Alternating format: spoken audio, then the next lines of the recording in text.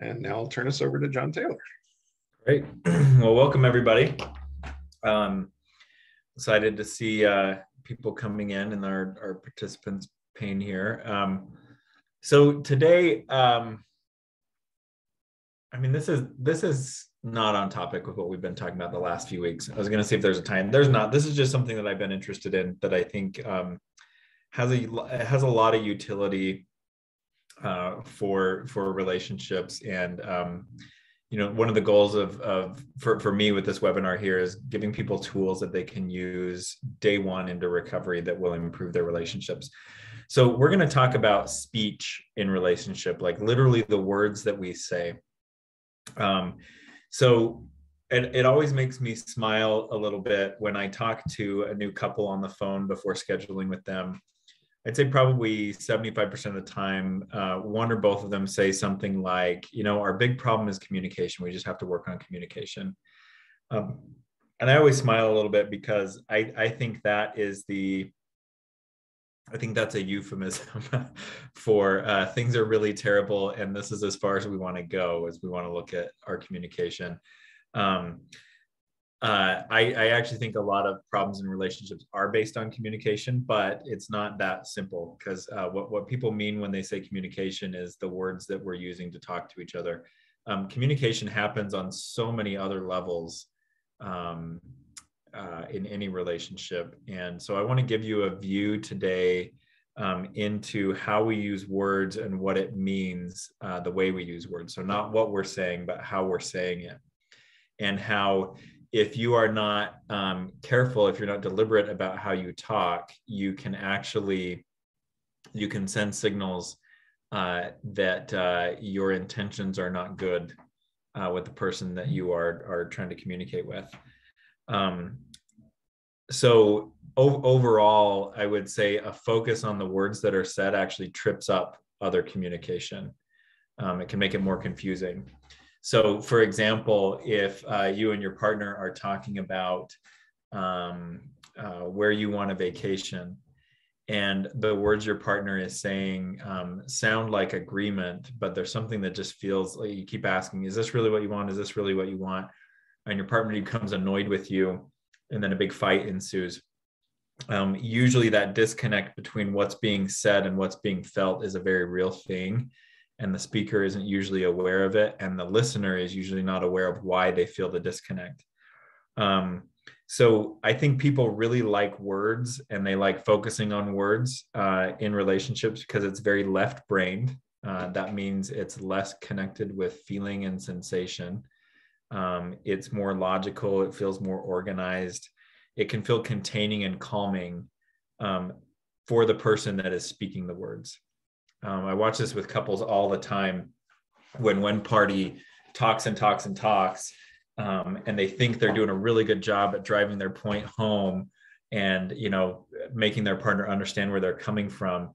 And when they finally stop talking or their partner cuts them off they don't realize that they've lost their audience because speaking is regulating for the person who's speaking um, using words uh, again it's it's a le- largely a left brain operation. So if you have a lot going on somatically if you have a lot going on emotionally uh, moving the energy to your left brain is going to feel good to you.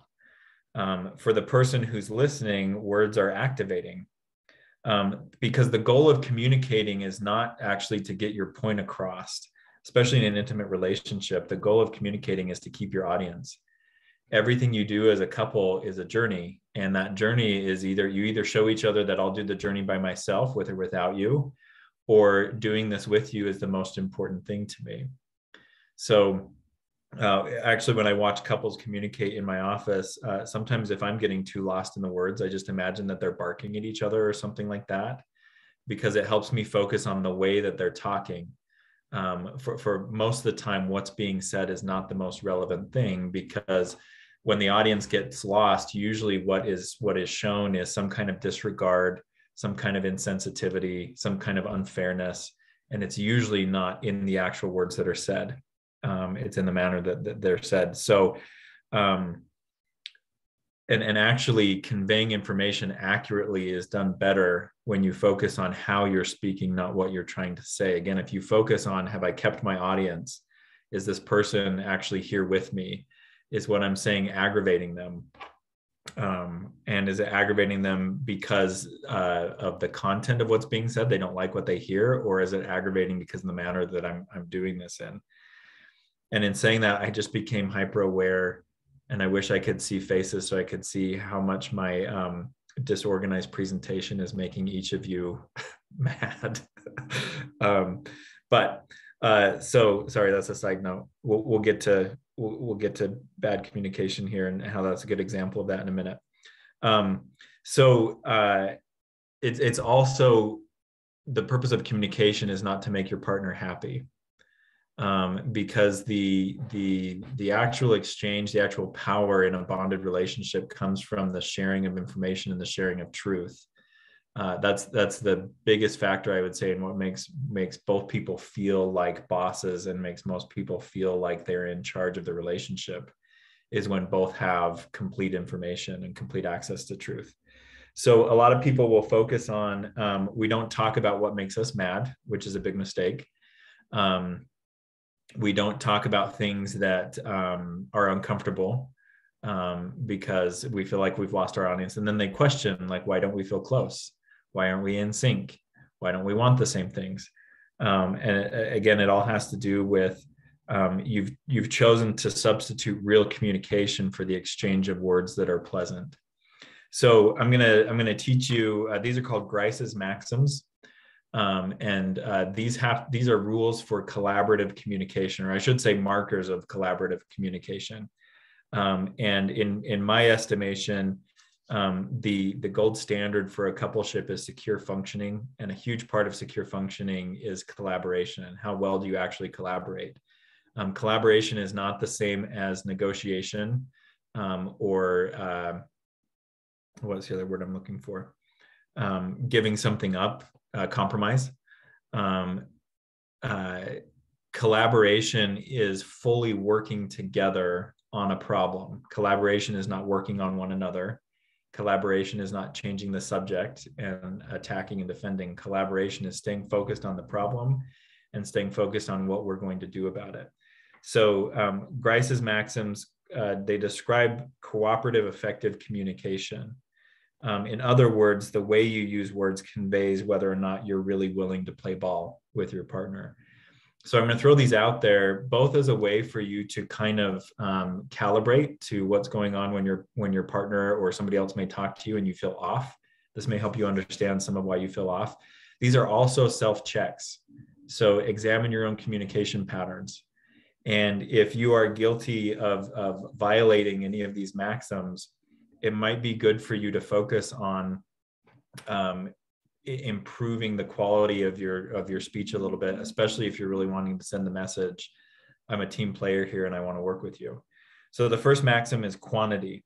So this is using the right amount of words. Um, so one of the big things that i learned uh, in school becoming a therapist was the difference between open-ended and closed-ended questions. Um, and we really got it you know trained into us um, you want to ask open-ended questions most of the time because you want your clients to open up and explore. So if you ask yes or no questions you'll get yes or no answers.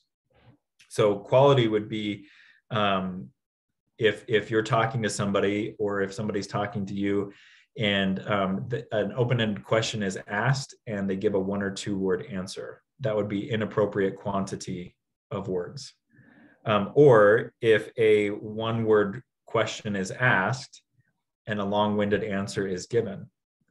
So, um, you know, for example, with couples all the time, I'll say things like, uh, Do you think he's mad at you? Oh, well, he's always mad at me. And, you know, here's the history of that. And here's how inappropriate his anger is. And uh, sometimes I'll watch where it goes. Often I'll say, That was a yes or no question. Do you think he's mad with you right now?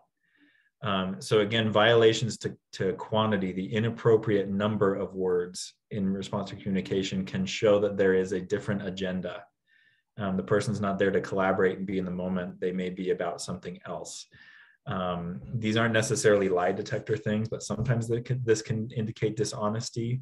sometimes it can indicate just complete um, lack of uh, attunement. Um, the person's really not in the moment. Again, that's part of why when someone's talking, you may listen to the words they say and say, well, it sounds like, you know, sounds like we're agreeing, but I don't know why I feel so bugged.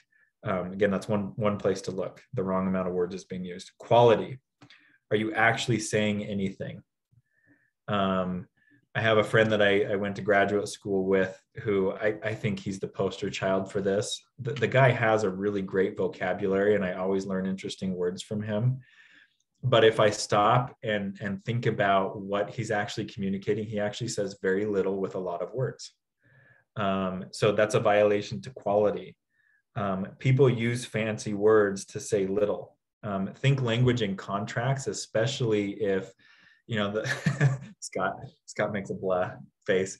Um, especially if I, I, have a law degree and I used to do contracts. This is oh. miserable. all right, I didn't know you had a law degree.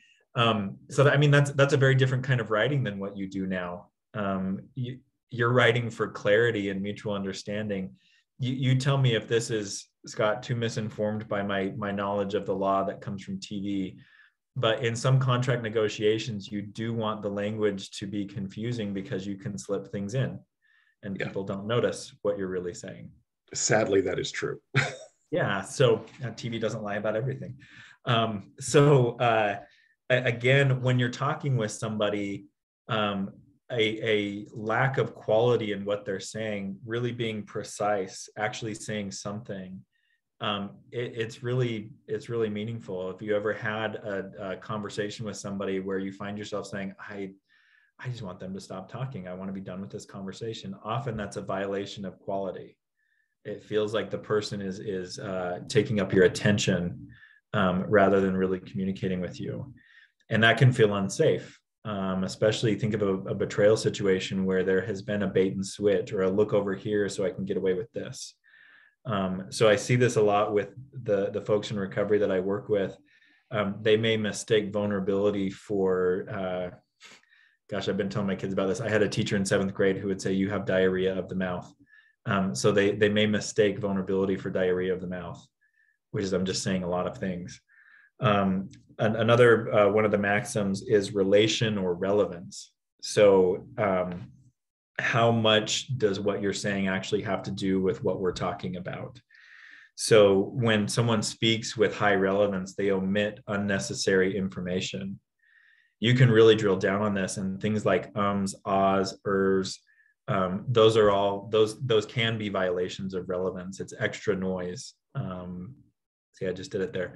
Uh, most of that is a it's a space filler. Again, it's an anxiety reducer as long as my voice is going, I've got the attention on me, I'm in charge here.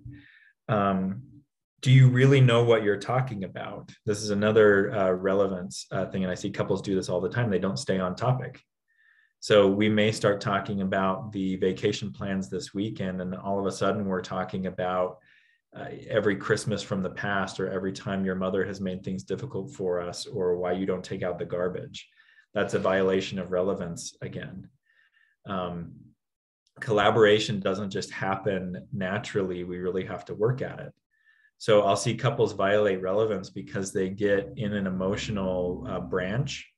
Uh, they get in a, a, a, grievance branch and they forget we actually have work to do here. There's, there's a problem we're trying to solve. We're not trying to, you know, set up every grievance that we've had or solve every problem we've ever had. We're trying to solve this one. The last maxim is manner.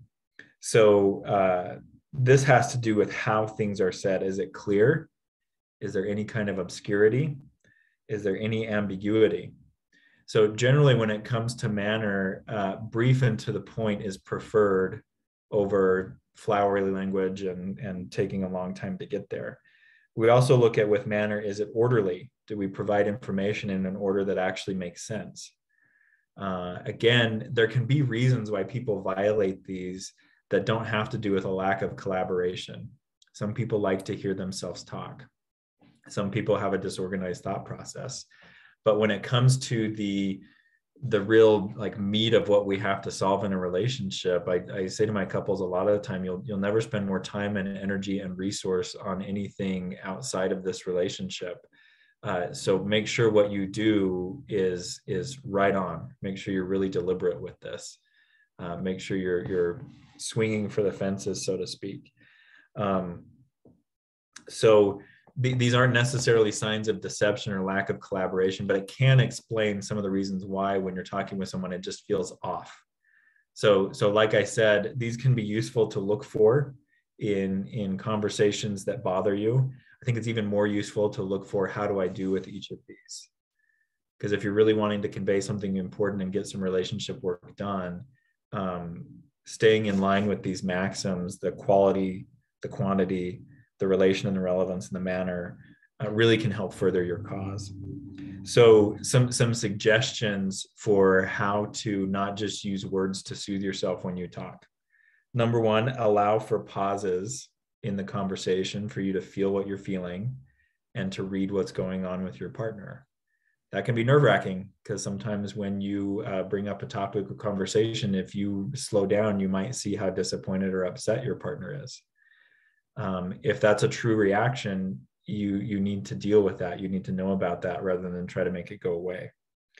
Um, if you don't know what to say, say that. I'm not sure what to say here because uh, again, it would be a violation of quantity if you were just silent. Well, we're expecting some kind of response. Um, simply telling your partner, I'm thinking, let me process that. I'm not sure what to say here. That's much better than saying nothing or just starting to talk to see where you end up. Um, along with that, um, and I, I, would say there's an asterisk by this um, talk only when you're inspired to do so. Um, in, in other words, make sure you have something to say. Um, let me get back to you, or let's pick up this conversation later after I've been able to think about that. I think in many cases is a perfectly fine alternative to just firing back and forth so that you both feel like you're in the game and in control. Again, this is collaboration. We're trying to get something done, not win. Um, read your audience, check often to see how what you're saying is being digested and it's not a bad sign if if your audience is upset or if your audience is is angry. Sometimes what we have to say is upsetting. Sometimes what we have to say does make people angry. You want to look for congruence. So I, I, think back to one, one of my favorite tv shows is parks and rec.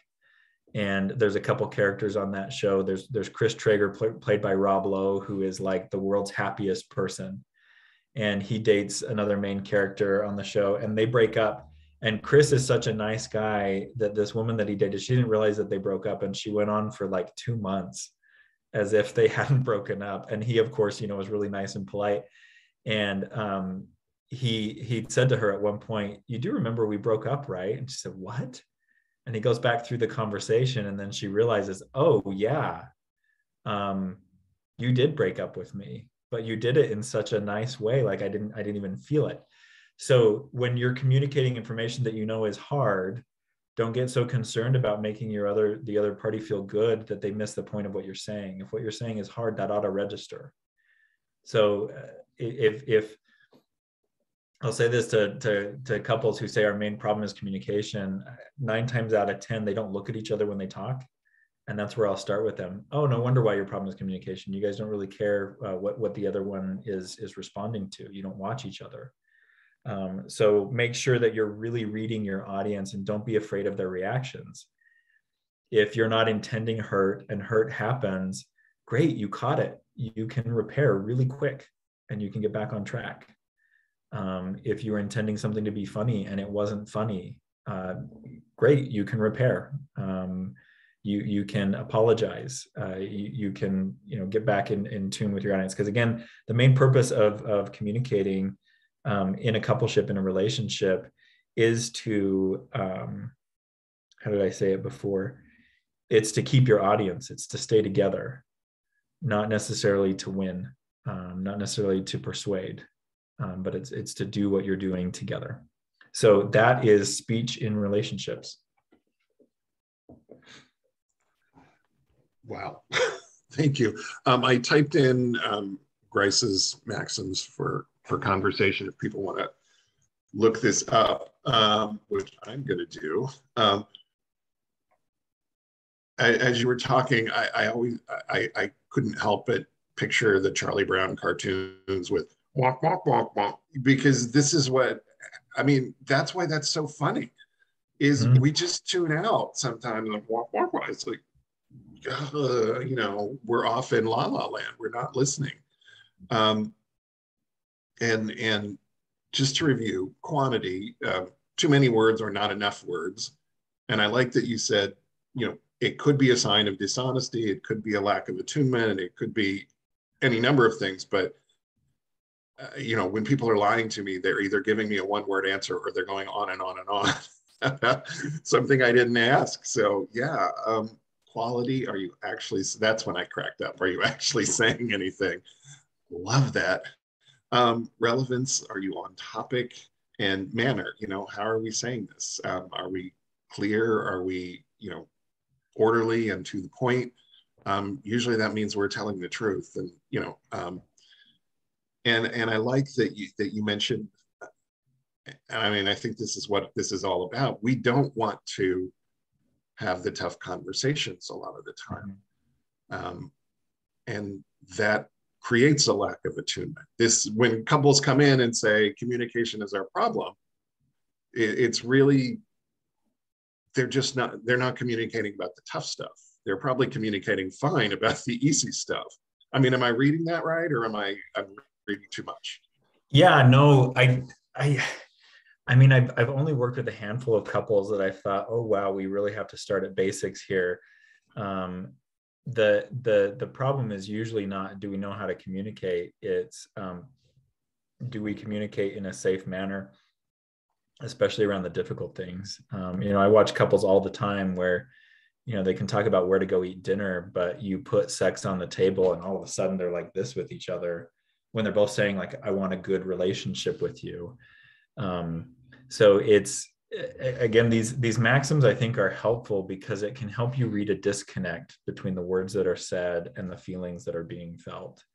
Because um, that's that's valid. Um, humans are good BSers and we we will work hard to say the right thing even if it's disconnected from what we feel i think what these these maxims encourage us to do is to uh, stay aligned stay congruent um, with what's actually going on inside of us or what's actually going on in, inside the the relationship inside the conversation yeah um, okay let's get to the questions because because there's a bunch of good ones in here already um, silence is also communication right um, the former narcissistic partner let people know, especially me, that he was angry or whatever.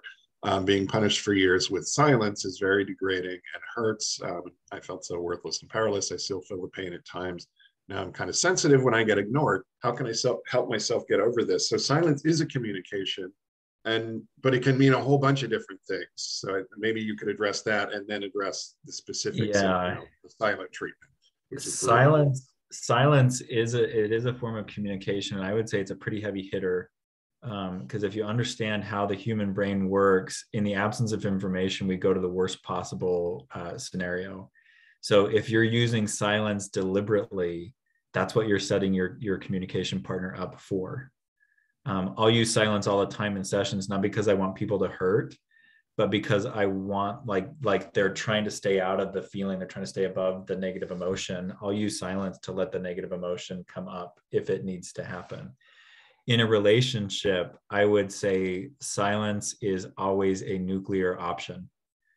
Um, it's always going to do a ton of damage and so the, this person is right on here it's it's punishing it's degrading it hurts makes me feel worthless and powerlessness so um, when I get ignored, how can I help myself get over this? I, I think the the best thing to do is exercise your right in a relationship to get information from your partner at any time about what they're thinking or feeling. So your partner's quiet. Um, maybe they're just a quiet person. Maybe they're thinking about work. Um, your brain isn't going to fill in the gaps correctly. So, so the ability to say, "What are you thinking right now?" or "You've been really quiet. Can you tell me why?" um, that's one of the best ways that you can start decreasing the sensitivity is is recognizing that uh, essentially you have a right to protest the the silence or you at least have a right to know what's this about sometimes your partner may come back to you and and calibrate you exactly while i'm angry with you okay um, that that at least gives a starting point for how we're going to deal with this. So are you going to be angry and keep shutting me out or can we talk? Um, can, can, we try to solve this? Um, that that i would say is probably the most direct way to help yourself with the sensitivity is exercise your right to uh, i'll use the word demand demand from your partner. Tell me what's going on inside of you because i can't see it right now. Yeah and then in the wider world sometimes we do you know people just don't pay attention to us sometimes the way we think they should you know. Right you know i was trying to get a waiter's attention for 15 minutes in a restaurant the other day because i wanted to order. Um, i mean so so this is a person who i i think part of this question is anytime that this individual gets ignored in any way it probably feels like the silent treatment from somebody. Is there a way to understand that sometimes silence is you know different than than than yeah than the nuclear yeah. option. Yes and and it, it requires some like in trauma healing we call it uh, reorientation. It requires some reorientation. You have to read the current situation not through the lens of the previous. But i think that's going to be hard to do inside your own head. So um, you know with with safe people you practice I have a couple that I work with right now that one of their biggest de-escalating statements is they'll say to each other, "Are you mad at me?" and they'll use the pet name for each other um, because they do a lot of silence with each other, and it's not always anger. In fact, very rarely is it. But when it is anger, it's pretty bad. So they've learned to check, uh, "Sweetie, are you mad at me?" "Oh no, I'm just thinking." Um, or if they are, "Yeah, I'm upset, and we need to talk."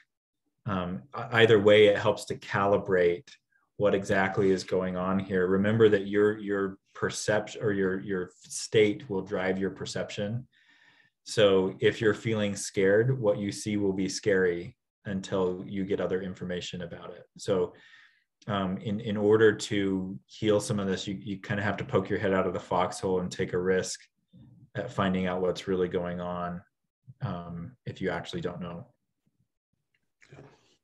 um, which takes us right into our next question here. How is how important is it for a couple to talk on a regular basis? Um, my sex addict husband is a quiet person, and almost always I am the one to start a conversation and ask questions. Um, also, he just signed up for one of your classes, but if I don't ask questions, I don't think we would ever talk about where we are in this process.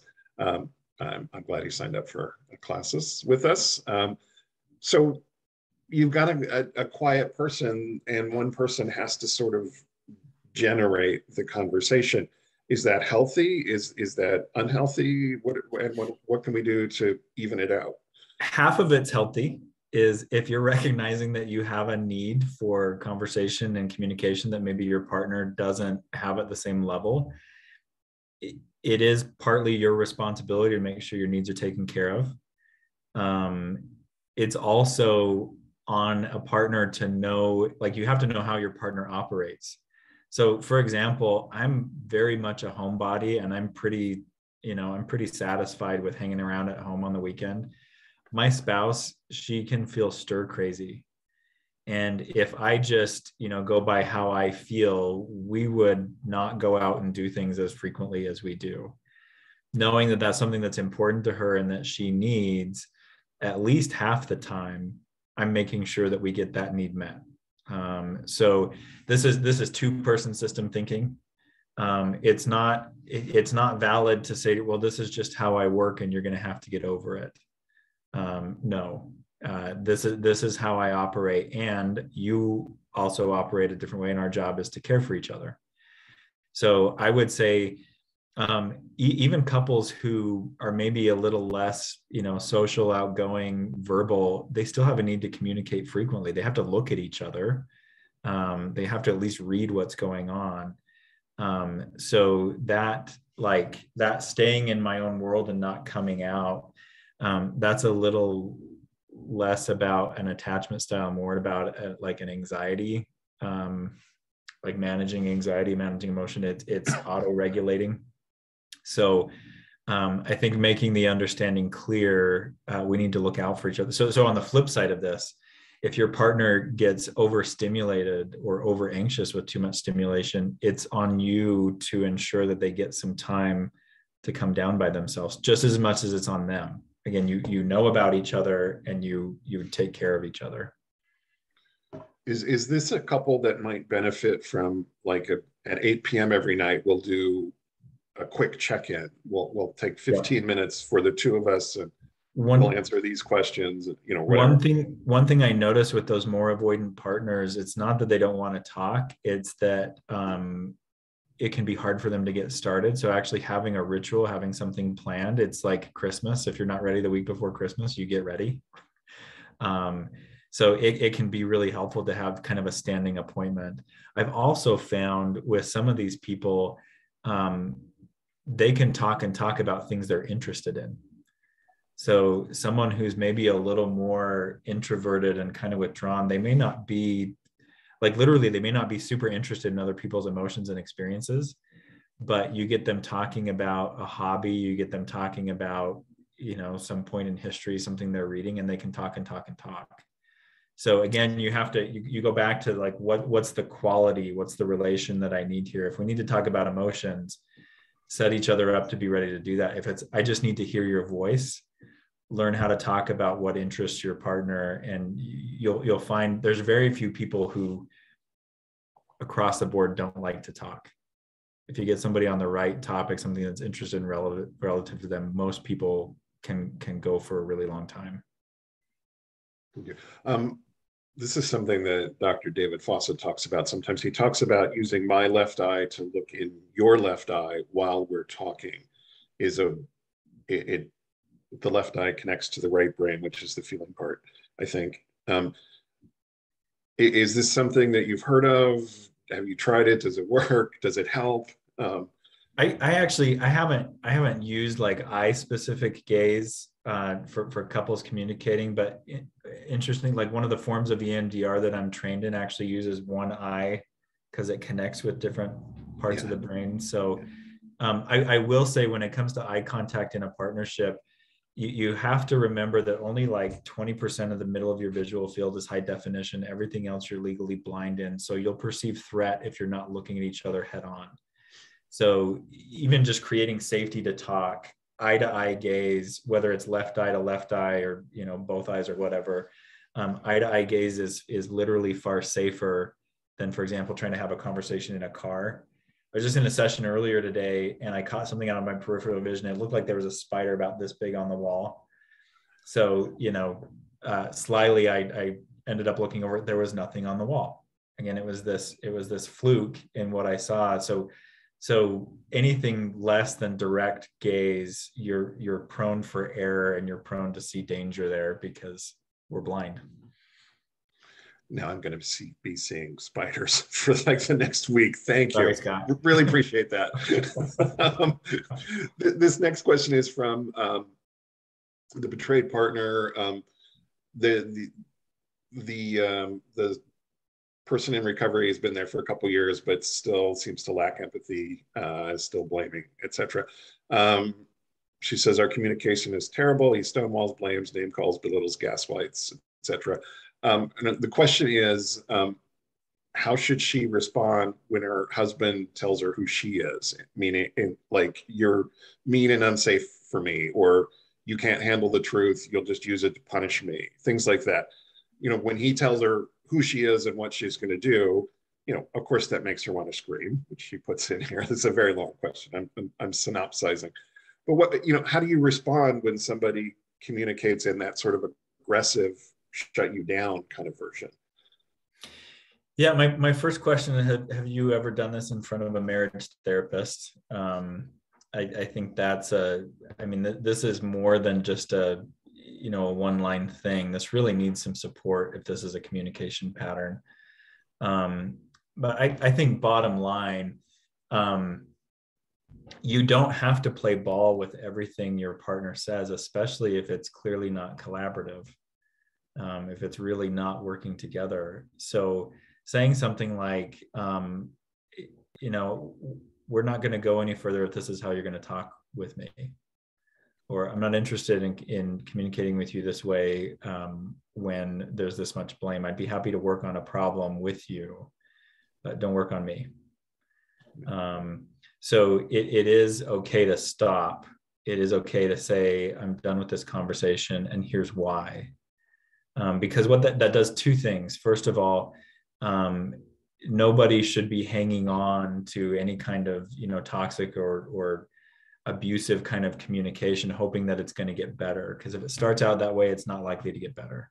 Second of all it offers a path back. Um, i'd be happy to talk to you but you got to leave the blame at the door man.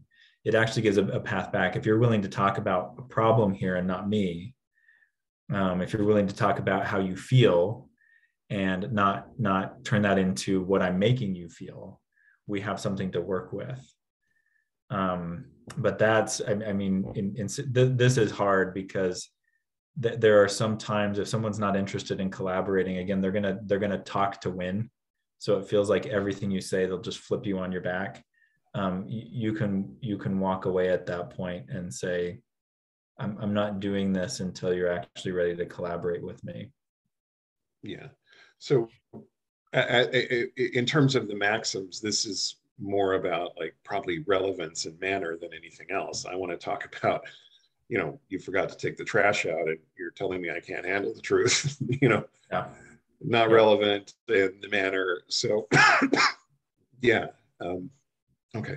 Um, what about talking in circles? How do you get someone to stay focused? I'm loving these questions. Uh, it's it's as simple as just that. It's as simple as that's that's not what we're talking about, or even getting agreement. Um, can we stay focused on getting the trash taken out until we solve that problem? Are you in or not? Close ended question. That doesn't require a big answer. That's a yes or a no.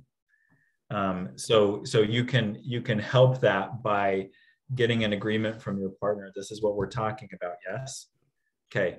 They get off topic. I'm sorry, you're off topic. We're talking about the trash. Um, and just reminding, nudging. I actually, believe it or not, for those of you who've been following this, I have a hard time with relevance. I love rabbit trails. You know, I, I go off on stuff. So I actually really appreciate when my partner says, that's not what we're talking about. Oh, right. Yep. Um, yeah, that's that's that's a good way to handle that one. Yeah. So this one's quantity and and relevance. You know, the manner might be fine. You know, uh, but the quality's not there either. You're just talking in circles. I love, I love, I'm, i love these maxims. I'm gonna like post them somewhere. Um, so um, uh, my partner can talk all day about things that are are of interest to him, but he has been quiet since D-Day. Oh, that's just a follow up from me earlier. Mm-hmm. Um, uh, okay, here we are. All right, let, us let's go to the chat feature for a second because this question has been waiting for a while. Um, what does gaslighting look like um, in terms of these maxims? I think you address it, but if you could clarify. Um, so explain gaslighting via these maxims. Yeah, so so gaslighting, um, the, these maxims can be intentional or not. Violations of these can be intentional or not. Um, some people just they just talk a lot and they don't have much to say. Um, gaslighting has a form of intentionality to it. So I would say a violation of these can be used intentionally with with uh, gaslighting. Um, but that that's the that's the uh, that's the difference there. So for example, like in quantity, um, gaslighting would be um, turning a one word answer into a big explanation that you get lost in, and maybe even turning it turning it on you now instead of answering the question i've got a question that i've just fired back at you. That would be a violation of quantity. Um, quality again could be the uh, again this this friend of mine i've seen him do it when he doesn't want to talk about something. He goes into his like million dollar vocabulary. And there have been times i've said to him um, if you want to keep talking you got to stop. Like you have to use real words because this is really annoying me. Um, so gaslighting can it, it can be kind of obscuring um, the, the question obscuring what's being said in, intentionally. Again the relevance that would be switching the topic turning it on you um, talking about something else entirely. I have one guy that i work with that uh, he he's got a real problem with when, whenever his spouse confronts him at something directly he goes up to a high level and he wants to talk theory about this. So well you know in our society men are treated like this and women are treated like this. And you know she'll often say to him um, that that's interesting but I, I, actually just wanted to i wanted to talk to you about like what are we going to do for our daughter's birthday? You know so so the gaslighting uh, can be changing the subject.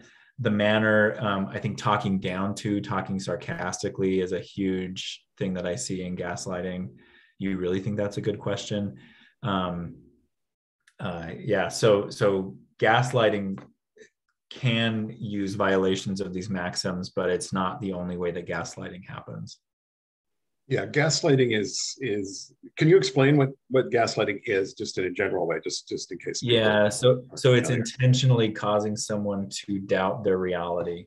Um, is a simple way to put it. So I'm trying to throw you off the scent. Um, I'm trying to make you look at what I want you to look at. I'm trying to get you confused, ultimately for the goal of of you know backing off and chronic gaslighting, uh, what it really does is undermines a person's sense of reality. So they have a lot of doubt in their own perceptions, which if you're into hiding things and keeping secrets, that's exactly, I mean, you, you've got them where you want them. If this person now doesn't even feel like they can perceive correctly, they're going to question you a lot less frequently. Yeah. It's, I'm not cheating. Why would you think I'm cheating? You're, you're crazy. You're, you're all of the problems are you not trusting me. Why won't you trust? It's like, you know, even though I know I'm cheating, I just flip it on you and make this all about you um, instead of me. Um, and, and I cause you to question your perception of reality. That's not lipstick on my collar. That's marinara sauce. You yeah. taste it. Go ahead you know yeah. but then i throw it in the wash before you can taste it you know. But it's obviously lipstick but i still you know um, and the, the, thing about gaslighting is it starts slowly. Um, it usually starts oh honey i have to stay stay at work late tonight. Um, i'll be home by midnight. You know and if you you know you're in a relationship you want to believe your partner. So of course you choose to believe your partner then you know suddenly your partner is you know three years later your partner is saying I, I told you i had to go away on business you, I told you over breakfast last week, you must have been sleepy and you must have not heard me. Um, you know, after disappearing on you for three days and and you're struggling with is he lying to me or not, even though it's an obvious blatant lie. Yeah. This is what gaslighting does to people. It's it's it's abusive to the recipient. Um, I mean, it's psychologically abusive, um, and, and done over time and and with great effort um, it can be really br- brutal. Yeah. Yeah. So. Yeah, ga- gaslighting. I would, if if there's a history of really intense gaslighting, trust is very difficult to restore um, because of how active a role the betraying partner has taken in destroying reality. Yeah, it's it's an intentional thing. Um, yeah. I'm just going to destroy your ability to sense reality as a way of protecting the behavior that I that I want to continue to engage in that you'd rather I didn't. Um, okay. Um, my sex addict husband has recently begun responding to. Oh, go ahead. Scott, can we go back to the one above that? I, I think that's actually. Oh, sorry. And then we can go. Sorry. Yeah, this this is a follow up to the one where um, you know um, when the husband is telling the betrayed partner how, what she's thinking and feeling. You're mean and unsafe for me, or you can't yeah. handle the truth, etc. This is a follow up to that. Sorry. Um, what if it, that's exactly what he's hoping for for the conversation to stop um, he doesn't want to talk it's just me starting the conversation and him abusing me through it um, sorry i missed that so here's here's my here's my feeling on that i don't think he wants it to stop i think he wants it on his terms and again i'm talking generally like an amalgamation of, of people i've seen who do this so so my my guess would be if you really stopped conversation he would get very uncomfortable. Um, very very few people who i know actually want to be completely disconnected. They want to be in control. So what you're doing when you're saying i'm not having this conversation with you and then you hold that no we're not talking until you can be fair until you can be just equitable we can focus on the problem together. If you actually hold that line that that's where you are asserting your right to be as in control as he is. No, we do this in a collaborative way where we don't do it at all. So it, it can look like what, what what he may want in the short term is I want this conversation to stop, but he doesn't want all conversation to stop. And that's what you put on the table. Unless you can be collaborative with me, we don't we don't talk. You don't you don't get my companionship. So um, you, you got to remember with a lot of the ways that couples fight, they, they're playing the short game, not the long game.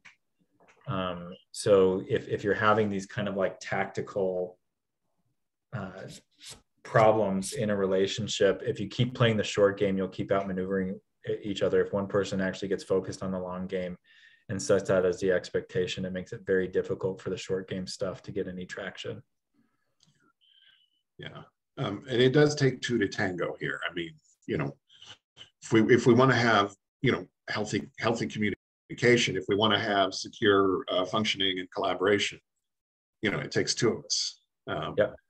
And you have may have to drag somebody into it unwillingly or not, but um, which goes to the next question here. My my sex addiction has has recently begun begun responding to any emotions or concerns I express in conversation by quickly shifting to sarcasm or going on at length about his own feelings and perspective or offering advice on how to handle my situation. Um, are there suggestions on how I can be heard, or is this a sign he's he's not interested in hearing me now? I mean, it's it's kind of the same thing, you know. But yeah, yeah. Um, I don't know if it's a sign that he's not interested in being heard. My my guess is uh, it, it's less likely that it's that. So so this again is where it's really powerful to set the topic so you say, uh, sweetie, I want to talk to you about some of my feelings, and this is the topic, my feelings. So I just want you to listen. I don't want any fixing. I don't want any perspective, and I don't want you to make jokes. I just want you to hear me. So you start talking. Of course, he won't be able to help himself because this is a this is a habitual thing. So he's going to say something sarcastic, and you say, uh, "That's not what we're here for." If you're interested in um, connecting with me right now, I just need you to listen. Can you do that? Yes, I can do that and then he offers advice. Yep i didn't i didn't ask for advice. Don't give me advice. I just want you to listen. Can you do that? Yes. So so again it's that relevance. We're going to keep this relevant. It, it is okay to you know come into the relationship and say i'm going to command the time here for a minute. I need some time. Um, and here's what that's going to look like. If, if that's the only way that it happens time after time that's unfair. But both of you have a right to pull the card that says this is going to be about me for a minute and when you pull that card you don't give it up until until you're done until you get what you need. Yeah. So okay let's go to the next one here. Um, please explain to me how the sex addict husband uh, in this case can be jovial conversational and expressive with coworkers in groups of men in 12 step meetings but all i get is stoicism and disconnection. All of those other relationships are very low um, the stakes are very low in those. So it's really easy to relax when the outcome really doesn't matter long term.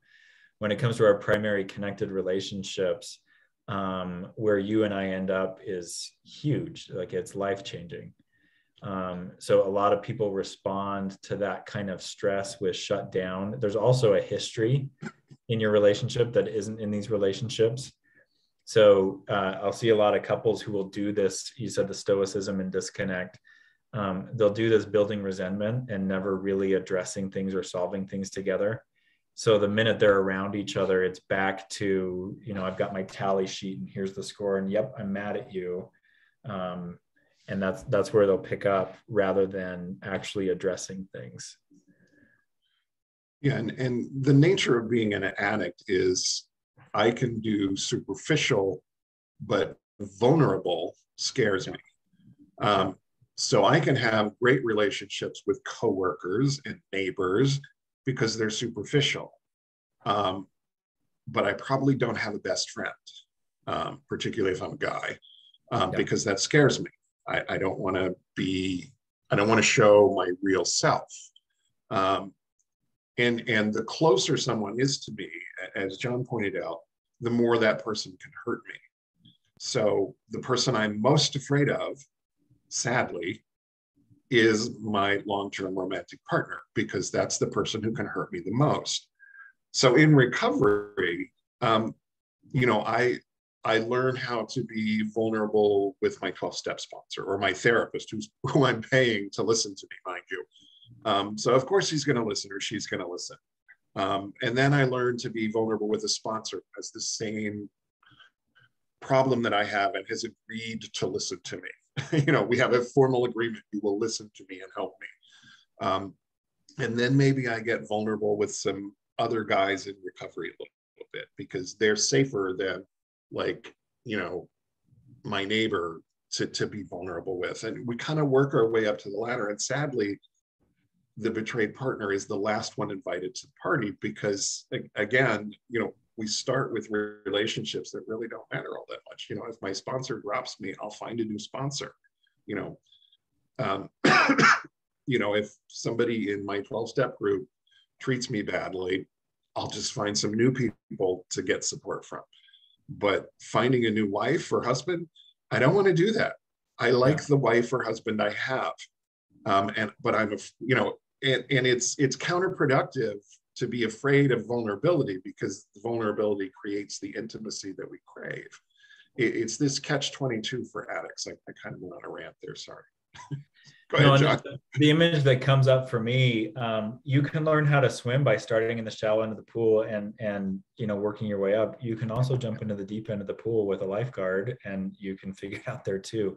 So um, that that whole like I've got to work up to it. I totally understand where that comes from. I, I actually think with a lot of couples, it doesn't have to it doesn't have to be that protracted. You can jump in together and recognize we do or die here. We, we figure this out or or we're done. And what, what I've seen with a lot of the couples that I work with, that's actually motivating to get it right faster, um, to to go right for what scares you and and stay with it rather than try to exit what's scaring you. Yeah. Yeah and and yeah anyway there's a follow-up to this which is how can we break this pattern of not discussing anything? So so i think you just talked about it jumping to the deep end but specifically what does that involve? So so I, I, I get like earlier when i said have you done this in front of a therapist? I think that's a huge uh, thing um, is uh, to swim in the deep end again you need a lifeguard.